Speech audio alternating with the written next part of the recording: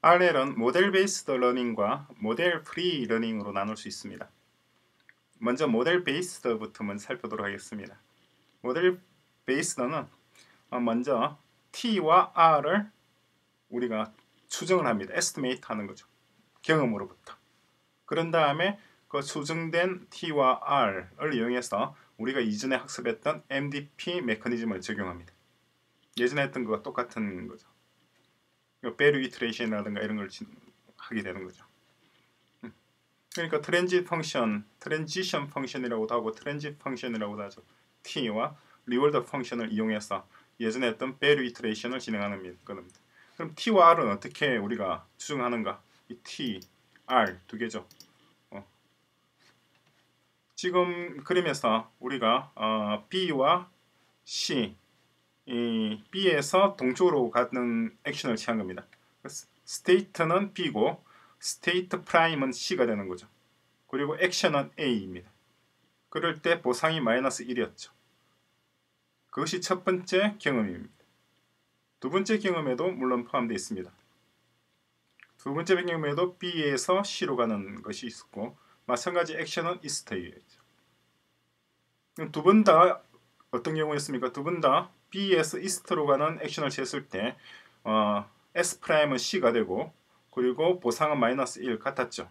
따라서 transition function을 따지면 B east C는 100, 100%가 됩니다. 경험은 지금 에피소드 1부터 에피소드 4까지 네 번의 경험을 갖는 거죠.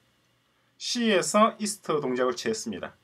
그럴 경우 D에 안착해서 마이너스 1을 가졌고 마이너스 1을 가졌고 마이너스 1을 가졌고 그런데 이번에는 C에서 이스트를 취했는데 안착한 곳은 D가 아니라 A입니다.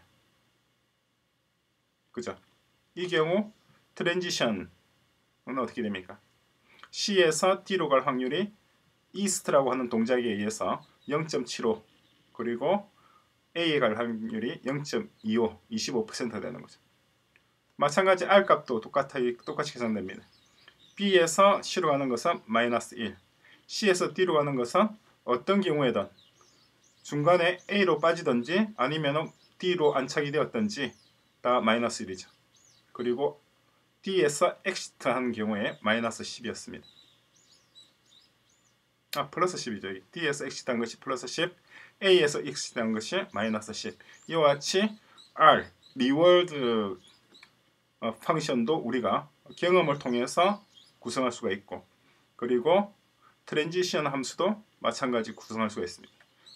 T와 R이 구해졌다 그러면 우리가 예전에 공부했던 배웠던 자동차에 적용되었던 이 알고리즘 그대로 적용해서 value iteration을 진행할 수가 있죠. 그것이 어, 기본적인 모델 베이스드 러닝입니다.